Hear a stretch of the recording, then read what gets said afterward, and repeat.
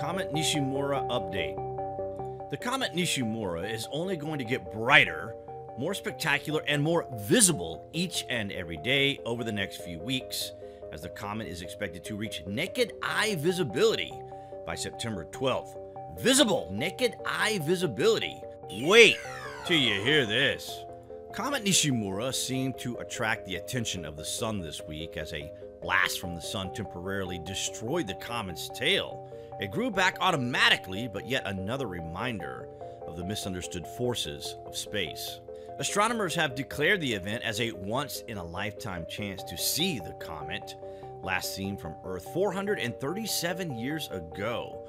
Calculations have reportedly shown that Comet Nishimura has an orbital period of 437 years.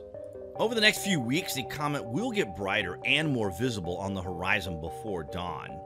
Observers in many countries are now enjoying looking at it through binoculars and telescopes, reaching naked, yes, naked eye visibility by September the 12th. However, naked eye observations are currently being reported around the world as of today, September 8th, 2023.